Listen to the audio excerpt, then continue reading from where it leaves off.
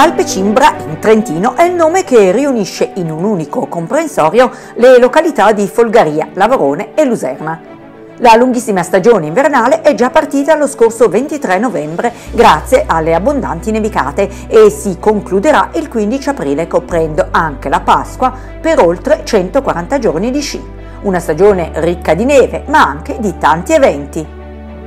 un programma ricchissimo, abbiamo pensato a tutti non solo per Natale ma per tutta la stagione, Natale avrà l'arrivo di Babbo Natale, ci sarà il Capodanno in piazza, la tombola del, del nuovo anno, i fuochi d'artificio, le grandi fiaccolate delle scuole di sci.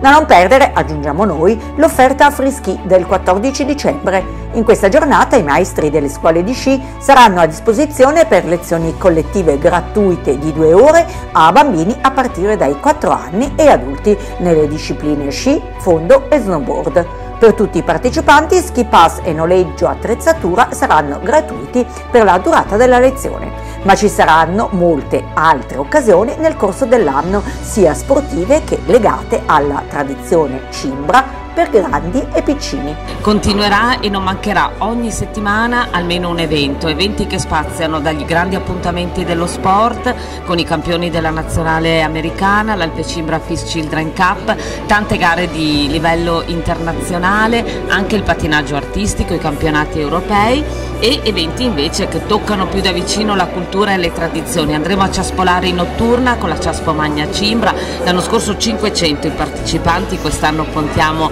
a un nuovo record, quindi queste fiaccole che illuminano la neve, i piatti della tradizione degustati in luoghi incantati, fatati.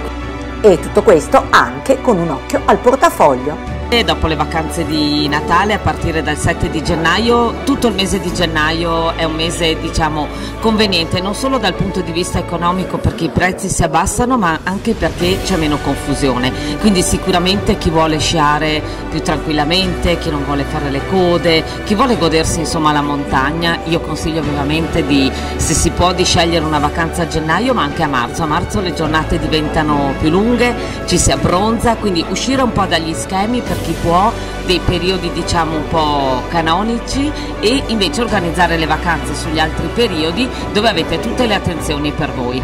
Qui tutte le notizie e le informazioni alpecimbra.it